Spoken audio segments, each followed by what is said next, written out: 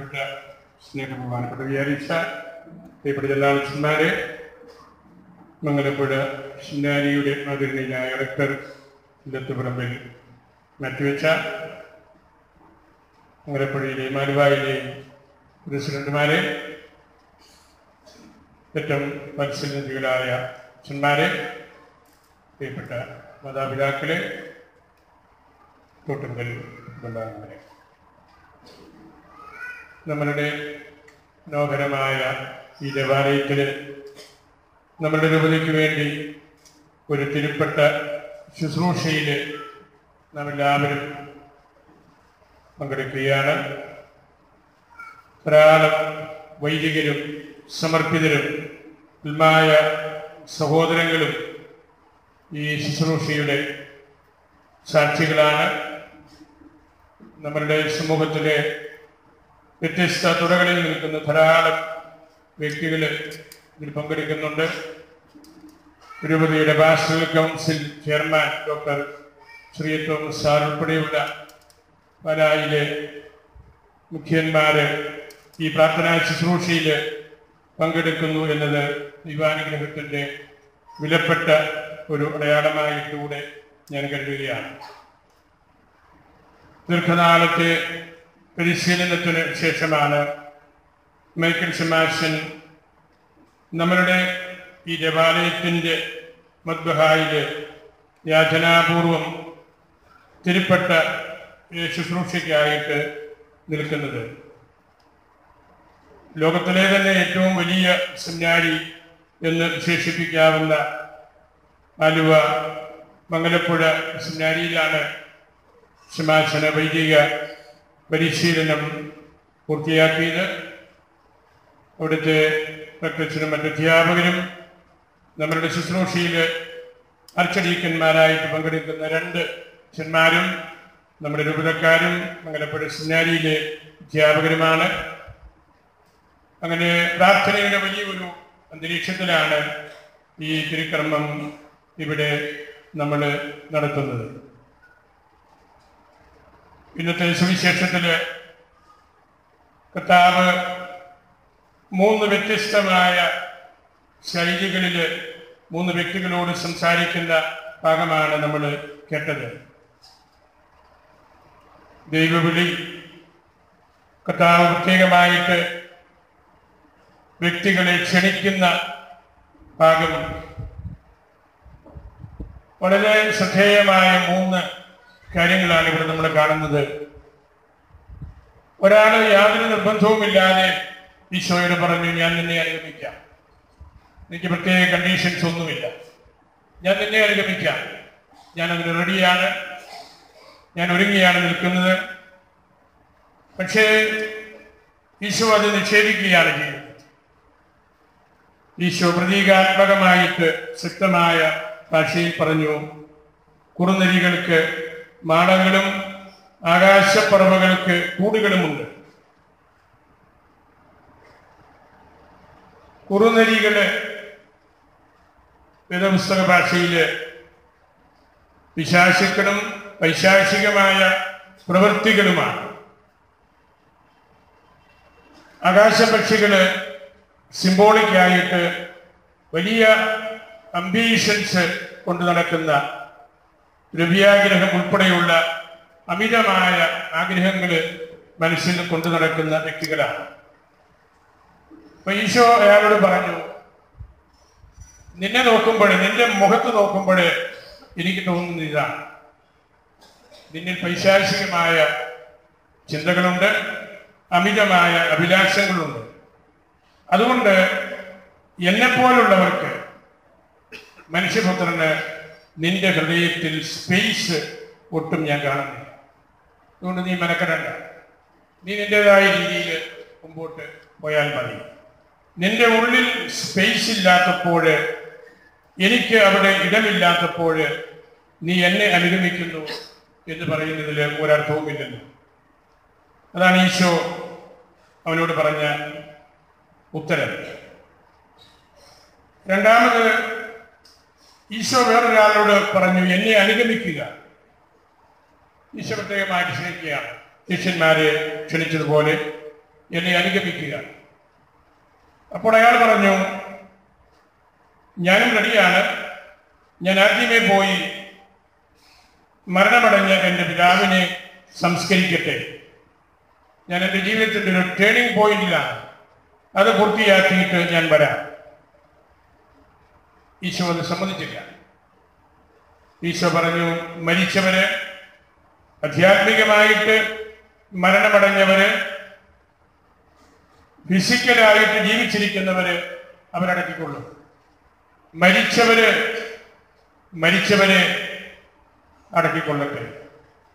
ദൈവവുമായിട്ട് ബന്ധമില്ലാതെ ദൈവ ഐക്യത്തിൽ ജീവിക്കാത്ത ഒരു പറ്റം ആളുകൾ അവിടെയുണ്ട്. നിന്റെ വീട്ടിലുണ്ട്. അവർക്ക് വേറെ ജോലിയൊന്നുമില്ല. അവർ മരിച്ചവരെ പോലെ ദൈവികമായ ബന്ധമൊന്നുമില്ലാതെ ആധ്യാത്മിക ഉണർവില്ലാതെ അവിടെ ഇരിപ്പുണ്ട്. അങ്ങനെ ഇരിക്കുന്നവര് ആധ്യാത്മികമായിട്ട് മരണമടഞ്ഞവര് ശാരീരികമായിട്ട് മരണമടഞ്ഞ നിന്റെ പിതാവിനെയും അടക്കിക്കൊള്ളും. ഇപ്പോൾ നീ എന്നെ അനുഗമിക്കുക അതും വളരെ റാഡിക്കലായിട്ടുള്ള ഒരു ഇൻവിറ്റേഷനാണ് മൂന്നാമത് ഒരു വ്യക്തി കർത്താവിനോട് താല്പര്യപൂർവം ഈശോയുടെ വചന പ്രഘോഷണത്തിൽ പങ്കെടുക്കാനുള്ള താല്പര്യം കാണിച്ചു. അദ്ദേഹം ഒരു വളരെ വിനയപൂർവമായ ഒരു കാര്യമേ ആവശ്യപ്പെട്ടിട്ടുള്ളൂ. ഞാനിതാ വരാം. എന്റെ വീട് വരെ ഒന്ന് പോയി ഞാൻ അവരോട് ഒരു വാക്കെന്ന് പറഞ്ഞോളട്ടെ ഞാനിങ്ങനെ പോവുകയാണ്. ഒറ്റ വാക്ക് അവരോടൊന്ന് പറഞ്ഞാൽ മാത്രം മതി. അപ്പോഴും ഈശോ പറഞ്ഞു കലപ്പയിൽ കൈവച്ചിട്ട് പിറകോട്ട് നോക്കുന്നവൻ എന്റെ കൂട്ടത്തിൽ വരാൻ അർഹതയുള്ളവനല്ല. അതും കർക്കശ്യ സ്വഭാവത്തോടു കൂടിയ ഒരു കാര്യമാണ്. കലപ്പ നമ്മുടെ പ്രദേശത്ത് ഒരു പത്ത് മുപ്പത് കൊല്ലം വരെയൊക്കെ എല്ലാവർക്കും പരിചയമുള്ള ഒരു ഉപകരണമാണ്. അത് കൈവച്ചിട്ട് പുറകോട്ട് നോക്കിയാൽ കർത്താവിന്റെ കൂട്ടത്തിൽ പോകാൻ പറ്റുകയില്ലെന്ന് മാത്രമല്ല ജീവിച്ചിരിക്കാൻ പറ്റുകയില്ല.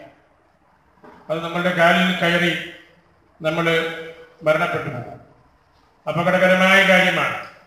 കലപ്പയിൽ കൈവച്ചിട്ട് പുറകോട്ട് നോക്കി മറ്റു ജോലികളിലേക്ക് പ്രവേശിച്ചാൽ നമുക്കൊന്നും നന്നായിട്ട് ചെയ്യാനായിട്ട് സാധ്യമല്ല.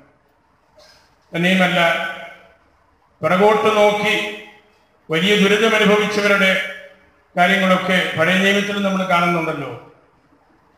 ലോത്തിന്റെ ഭാര്യ നല്ലൊരു മനുഷ്യത്തെയാണ് വെറുതെ ഒന്ന് പുറകോട്ട് നോക്കിയതാണ്. ഉപ്പ് തൂണായി പോയി ഇവിടെ വലിയ പില്ലറൊക്കെ വാർക്കുമ്പോൾ അതുപോലെ ആയിപ്പോയി. അതാണ് പുറകോട്ട് നോക്കുമ്പോൾ അനാവശ്യമായ കാര്യങ്ങളിലേക്ക് നമ്മൾ ശ്രദ്ധിക്കുമ്പോൾ ഉപ്പുതൂണായി പോവുകയാണ്.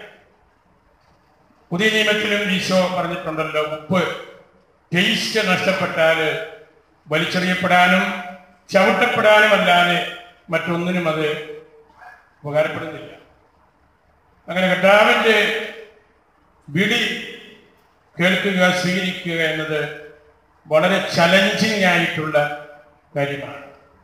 ഈ ചലഞ്ചസ് നമ്മൾ ഏറ്റെടുക്കുന്നില്ലെങ്കിൽ അതിൽ യാതൊരു അർത്ഥവുമില്ല. അല്ലെങ്കിൽ കർത്താവ് വളരെ ആകാംക്ഷാപൂർവം നോക്കിയിരുന്ന് തിരഞ്ഞെടുക്കുന്നവനായിരിക്കണം. പത്രോസിനെ കുറിച്ച് യോഹന്നാൻ സുവിശേഷകൻ പറയുന്നത് അങ്ങനെയാണ്.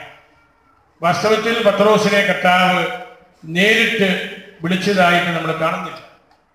He was brought to Jesus by his brother Andrew പത്രോസിന്റെ സഹോദരൻ തലേ ദിവസം കർത്താവിനെ കണ്ട് ഇഷ്ടപ്പെട്ടപ്പോൾ പത്രോസിനെ കൂട്ടിക്കൊണ്ട് ചെന്നതാണ്. He was brought to him അവിടെ സംഭവിച്ചത് എന്താണ്? ഈശോ ഒന്നും സംസാരിച്ചില്ല. ഒറ്റ നോട്ടത്തിൽ ഈശോ പറഞ്ഞു നീ കേപ്പയാണ് നീ പാറയാണ് നീ മിടുക്കനാണ്. നിന്നെ കൊള്ളാം നിന്നെയാണ് എനിക്ക് വേണ്ടത്. നിന്റെ മേലാണ് നിന്നെ പോലെ ഉറപ്പുള്ള കരുത്തുള്ള വ്യക്തികളിൽ മേലാണ് ഞാൻ പ്രീച്ച് ചെയ്യുന്ന ഈ സുവിശേഷവും അതിന്റെ ഫലമായിട്ടുള്ള സഭയും നിലനിൽക്കേണ്ടത് ഇവിടെ മറ്റൊന്നും സംസാരിക്കുന്നില്ല. ഒറ്റ നോട്ടത്തിൽ ഈശോ തിരഞ്ഞെടുത്ത് വലിയ കാര്യത്തോടെ കൂട്ടിക്കൊണ്ടു ചെന്ന സഹോദരനെ പോലും ഒരു സ്റ്റെപ്പ് പിറകോട്ട് നിർത്തിയിട്ട് പത്രോസിനോട് പറഞ്ഞു യു ആർ സ്മാർട്ട് നീ കെപ്പയാണ്. പേത്രയാണ്. പറയാ ഇന്ന് നമ്മൾ കർത്താവിന്റെ വ്യത്യസ്തമായ വിളികളുടെ ഈ തിരുവചനത്തിന് മുമ്പിൽ നിൽക്കുമ്പോൾ ഇതുപോലുള്ള ചലഞ്ചസ് ഏറ്റുവാങ്ങിയിട്ടാണ് മൈക്കിൾ ഷമാക്സൻ കർത്താവിന്റെ ഈ വിളിയിലേക്ക് ശ്രദ്ധ തിരിച്ചത്. നമ്മളുടെ ഉള്ളിൽ ഈശോയ്ക്ക് വേണ്ടിയുള്ള ഒരു സ്പേസ് കൊടുക്കാനില്ലെങ്കിൽ പൗരോഹിത്യ ശുശ്രൂഷയ്ക്ക് അർത്ഥമില്ല. ഒരു പുരോഹിതനാണ് വാസ്തവത്തിൽ പുറത്ത ഫിജയിൽ വിശ്വാസത്തിന്റെ വാതിൽ. ആ വാതിലിലൂടെ കടക്കാൻ ശ്രമിക്കുമ്പോൾ ദൈവത്തെയും ദൈവത്തോട് ചേർന്ന് നിൽക്കുന്ന മനുഷ്യരെയും കാണുവാനും മനസ്സിലാക്കുവാനും എല്ലാവർക്കും സാധിക്കണം. ഒരു വൈദികനെ കാണുമ്പോൾ ദൈവത്തിങ്കിലേക്ക് കടന്നു പോകാനുള്ള ഒരു വാതിലാണ് അദ്ദേഹം എന്ന് മറ്റുള്ളവർക്ക് തോന്നുമ്പോഴാണ് ഹൃദയത്തിന് ദൈവത്തിനൊരു ഇരിപ്പിടമുള്ളത്. പ്രസിദ്ധരായ ദൈവശാസ്ത്രജ്ഞന്മാര് പറഞ്ഞു വെച്ചിരിക്കുന്ന ഒരു കാര്യം ഇതാണ്. നല്ല ഒരു വൈദികനിൽ സ്പാസിയും സ്പേസ് ഓഫ് ഫെയ്ത്ത് വിശ്വാസത്തിന്റെ ഒരിടം. എസ്പാസിയും ഒരാന്തി പ്രാർത്ഥനയുടെ ഒരു സ്ഥലം ഒരിടം. എസ്പാസിയും എസ്പെസ് പ്രത്യാശയുടെ ഒരിടം. ഈ മൂന്ന് ഇടങ്ങളാണ് വാസ്തവത്തിൽ ഒരു വ്യക്തിയെ കർത്താവിന്റെ പുരോഹിതനാക്കുന്നത്.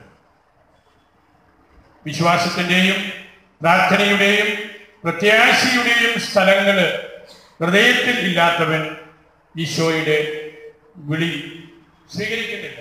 സ്വീകരിച്ചാലും അത് ഫലപ്രദമാവുകയില്ല.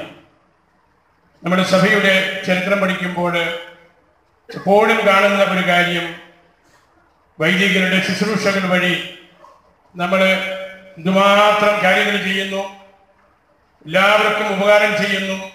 ഏറ്റവും പ്രധാനപ്പെട്ട കാര്യം ദൈവവചന പ്രഘോഷണമാണ്. ആ പ്രഘോഷണത്തിലൂടെ വിശുദ്ധ സ്ലിഹന്മാരോട് ചേർന്ന് നിന്ന് നമ്മളും പ്രവർത്തിക്കുന്നു പെരുമാറുന്നു. അത് നല്ലപോലെ ജീവിക്കുന്ന ഏത് അച്ഛനെ കുറിച്ചും ഏത് സമർപ്പിതയെക്കുറിച്ചും എല്ലാവരും പറയും. പക്ഷേ ഹൃദയത്തിന് സ്പേസ് ഇല്ലാത്തപ്പോൾ ഈശോയ്ക്ക് തലചായ്ക്കാൻ ഇല്ലാത്തപ്പോൾ വചനം കൊണ്ട് നിറയ്ക്കപ്പെടാത്ത ഒരു അച്ഛന്റെ ഹൃദയം അച്ഛന്റെ പെരുമാറ്റശൈലികൾ അങ്ങനെയുള്ള ഒരു കാലഘട്ടം ചിലപ്പോഴെങ്കിലും സഭയിൽ ഉണ്ടായിരുന്നത് കൊണ്ടാണ് നമ്മൾ ആരും ആഗ്രഹിക്കാത്ത ഒരു അർത്ഥവാക്യം പോലെ ഒരു സംസാരം പതിനാറാം നൂറ്റാണ്ടിലൊക്കെ ഉണ്ടായി. ഓംനെ മാൾ ആ ക്ലേറോ എല്ലാ തെറ്റും അച്ഛന്മാരിൽ നിന്നാണ്. ഓമിനെ മാളും ഓൾ ദ ഈവിൾസ് ആ ക്ലെയറോ അത് ഈശോയ്ക്ക് നമ്മുടെ ഹൃദയത്തിൽ നമ്മുടെ പെരുമാറ്റത്തിൽ നമ്മുടെ വാക്കുകളിൽ ഇടമില്ലാതെ വരുമ്പോൾ മറ്റുള്ളവരെ പറഞ്ഞതാണ്. അർത്ഥവാക്യങ്ങൾ ഉണ്ടാകുന്നത് അങ്ങനെയാണല്ലോ. ഏതെങ്കിലും ഒരു പണ്ഡിതൻ ഒരു പുസ്തകത്തിൽ എഴുതുന്നതല്ല. സാധാരണക്കാരുടെ ശൈലിയിൽ പറഞ്ഞു പറഞ്ഞു പറഞ്ഞു വരുന്ന കാര്യങ്ങളാണ് അർത്ഥവാക്യങ്ങൾ പോലെ രൂപപ്പെടുന്നത്. അതൊരു ഒരു കാലഘട്ടത്തിന്റെ വലിയൊരു വിനാശമായിരുന്നു. അതിൽ നിന്നെല്ലാം ഒരു പിടി മുമ്പോട്ട് പോകാനും സുവിശേഷം പഠിക്കാനും ഈശോയെ ഹൃദയത്തിൽ കൊണ്ടു നടക്കാനും അതാണ് പൗരോഹിത്യത്തിന്റെ അടിത്തറ എന്നുമൊക്കെ നമ്മൾ മനസ്സിലാക്കി കർത്താവിനോട് കൂടെ പെരുമാറിയ ഒരു ഒരു കാലഘട്ടത്തിന്റെ സംതൃപ്തിയിലാണ് നമ്മൾ നിൽക്കുന്നത്. അതുകൊണ്ടാണ് വിശുദ്ധ പിതാക്കന്മാര് വൈദികരെ പുറത്ത ഭിജയി ഒരു വാതിലാണ്. ആ വാതിലിലൂടെ നമ്മൾ നോക്കുമ്പോൾ ദൈവത്തെ കാണണം ദൈവത്തിനെ സ്നേ- സ്നേഹിക്കുന്ന മനുഷ്യരെയും കാണണം. നമ്മൾ ഈ നാടുകളിലൊക്കെ നമ്മളുടെ ശുശ്രൂഷയുടെ പ്രധാനപ്പെട്ട ഒരു കാര്യമായിട്ട് നമ്മുടെ സമൂഹത്തിൽ വേദന അനുഭവിക്കുന്ന കിടക്കാൻ സ്പേസ് ഇല്ലാത്തവരെ കുറിച്ച് നമ്മൾ ചിന്തിക്കുകയും നമ്മുടെ പാസ്റ്റർ കൗൺസിലിനുമെല്ലാം ശ്രീ തോംസാറൊക്കെ ഇവിടെ ഇരിപ്പുണ്ട്. നമ്മൾ പ്രത്യേകമായിട്ട് പറഞ്ഞ ഒരു കാര്യമാണ് പാവപ്പെട്ടവരോട് ഉള്ള നമ്മളുടെ ഒരു പരിഗണന. പൗപ്പർ പൗപ്പരിസ്. വളരെ സാമ്പത്തിക ബുദ്ധിമുട്ടുള്ളവര് ഉള്ളവര് ജീവിക്കാൻ നിവൃത്തിയില്ലാത്തവര് അവർക്കുള്ള ഒരു സ്പേസ് നമ്മളുടെ ശുശ്രൂഷയിൽ എപ്പോഴും ഉണ്ടായിരിക്കണം. ക്രൈസ്തവ ഐഡന്റിറ്റി ആയിട്ട് ഇപ്പോഴത്തെ പരിശുദ്ധ പിതാവെല്ലാം നിർബന്ധമായിട്ട് നമ്മളെ പഠിപ്പിക്കുന്ന കാര്യം അതാണ്. നമുക്കൊരു ഒരു ക്രൈസിസ് ആണ്.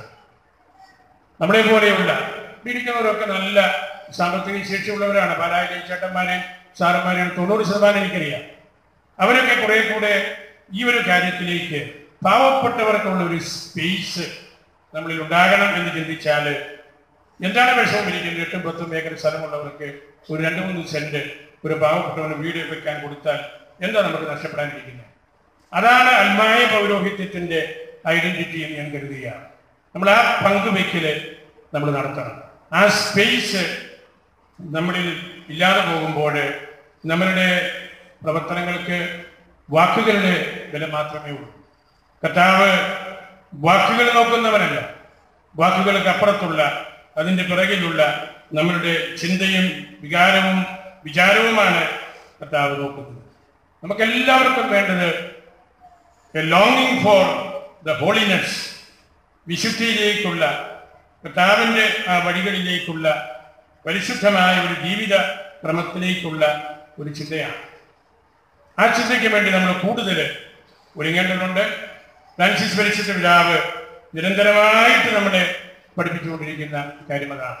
അത് കേൾക്കാതെ നമ്മൾ നമ്മൾ പോകരുത്. അങ്ങനെ പോയിട്ട് കാര്യമില്ല. അതുകൊണ്ട് ഇതുപോലുള്ള വലിയ കൂടിവരവിന്റെ അവസരം നമുക്ക് വലിയ ആഹ്ലാദത്തിന്റെ അവസരമാണ്. പാലാ ടൗണിൽ നിന്ന് പാലായുടെ ഹൃദയഭാഗത്ത് നിൽക്കുന്ന ഈ പുത്തൻപള്ളിയിൽ നിന്ന് നമുക്ക് രൂപതയ്ക്ക് വേണ്ടി ഒരു വൈദികൻ പിറക്കുന്നത് ഏറ്റവും സന്തോഷകരമായ കാര്യമാണ്.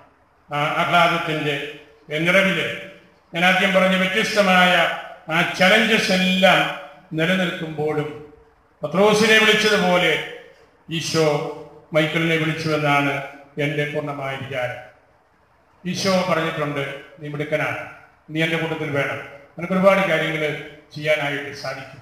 പൗരോഹിത്യ ശുശ്രൂഷയിലേക്കുള്ള മൈക്കിൾ സുമാച്ചന്റെ നിരന്തരമായ പഠനവും അദ്ദേഹത്തിന്റെ ജീവിത ക്രമങ്ങളുമെല്ലാം നമ്മൾ പഠിച്ച് മനസ്സിലാക്കുമ്പോൾ നമ്മുടെ മനസ്സിൽ തോന്നുന്നൊരു കാര്യം അതാണ്.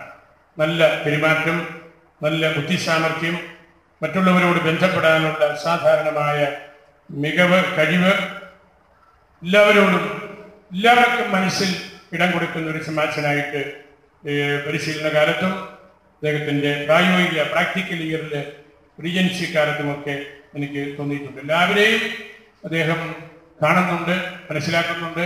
ഹൃദയത്തിലൊരു ഒരു സ്പേസ് ഉണ്ട്. കർത്താവിന് പ്രത്യേകമായ ഒരു സ്പേസ് ഉണ്ട്. അങ്ങനെ ജീവിതത്തിൽ വളർന്നു വന്ന നല്ലൊരു ചെറുപ്പക്കാരനാണ് അദ്ദേഹത്തിന്റെ രക്തച്ചനും പരിശീലനം കൊടുത്ത മറ്റു വൈദികരുമെല്ലാം ഇവിടെ ആയിരിക്കുമ്പോൾ നമുക്കത് കൂടുതൽ ഉണർവും ഉന്മേഷവും എല്ലാം നൽകുന്നുണ്ട്. നമുക്ക് ഇപ്പാല പല പട്ടണത്തിന് ഈ പുത്തൻപള്ളി കുന്നിൽ തന്നെ വലിയൊരു ഐശ്വര്യത്തിന്റെ മാറ്റത്തിന്റെ ഈശോയ്ക്ക് സ്പേസ് കൊടുക്കുന്ന ഒരു വിചാര പ്രക്രിയയുടെ ഒക്കെ അവസരമായിട്ട് ഇത് മാറട്ടെ എന്ന് ഞാൻ പ്രാർത്ഥിക്കുകയാണ്. നല്ല മെച്യൂരായ നോബിളായിട്ടുള്ള സിമ്പിളായിട്ടുള്ള ഒരു കുട്ടിയാണ് സമാശനാണ് മൈക്കിൾ നിങ്ങൾക്ക് എല്ലാവർക്കും ഇരിക്കുന്ന ഒരുപാട് പേർക്ക് നേരത്തെ അറിയാം. ഞാനക്കൂടെ രൂപതയിലെ ഒരു ഇടവകയിലാണ് പാസ്റ്ററൽ പരിശീലനത്തിനായിട്ടൊക്കെ പോയിക്കൊണ്ടിരുന്നത്. ആലമറ്റം അവിടെ നിന്നുള്ള അച്ഛനും ഇടവാങ്ങളും ഒക്കെ ഈ തിരുക്കർമ്മ ശുശ്രൂഷയിൽ പങ്കെടുക്കുന്നുണ്ട്. മാച്ചിന് വേണ്ടി നമ്മൾ ദൈവമായിട്ട് പ്രാർത്ഥിക്കണം. ദൈവം അദ്ദേഹത്തിനെല്ലാം ആവശ്യത്തിൽ കൂടുതൽ കൊടുത്തു പോലെ എനിക്ക് തോന്നിയിട്ടുണ്ട്. പേര് തന്നെ വീട്ടുപേര് തന്നെ രണ്ടെണ്ണമാണല്ലോ. അതും അദ്ദേഹം ദത്തു വന്ന വല്യപ്പന്റെ വഴിയിൽ നിന്ന് തോട്ടെങ്കിലും വെള്ളുക്കുന്നിലും രണ്ട് വീട്ടുപേരാണ്. പേര് തന്നെ മൂന്നെണ്ണമാണ്. Michael Jackson Thomas. റെക്ടച്ചൻ അദ്ദേഹത്തെ കുറിച്ച് പ്രത്യേക വിശേഷമായി കഴിഞ്ഞിരിക്കുന്ന നാലെണ്ണമാണ്. Photography videography karate jeep. അതെല്ലാം ഞാൻ പേടിച്ചു പോയി. ഈ കൊച്ച് ഇത്രയും ഭയങ്കരനാണ്. അതെല്ലാം വലിയ വലിയ കാര്യങ്ങളാണ് നമ്മൾ ഞങ്ങളൊക്കെ പഠിച്ചുകൊണ്ടിരുന്ന കാലം കേട്ടിട്ട് പോലും ഇല്ലാത്ത വാക്കുകളാണ് പറഞ്ഞത് അപ്പൊ അതെല്ലാം കൊണ്ടു നടക്കുന്ന നല്ല മിടുമിടുക്കനായ ഒരു മാച്ചനാണ് മൈക്കിൾ. ഈ രണ്ടും മൂന്നും നാലും ആറ്റിറ്റ്യൂഡ്സോട് കൂടി ഇദ്ദേഹം ഇന്ന് അച്ഛനായി തീരുമ്പോൾ എണ്ണിത്തീരാൻ പറ്റാത്ത വിശേഷങ്ങൾ ജനങ്ങൾ അദ്ദേഹത്തെ കുറിച്ച് പറയട്ടെ എന്നാണ് എന്റെ പ്രാർത്ഥനയും എന്റെ ആശംസയും. എപ്പോഴും സ്വാമിക്ക് സമർപ്പിക്കുന്നു. നമുക്ക് പ്രാർത്ഥനാപൂർവം ഈ തിരുപ്പെട്ട ശുശ്രൂഷയുടെ പ്രധാന ഭാഗത്തേക്ക് പ്രവേശിക്കും.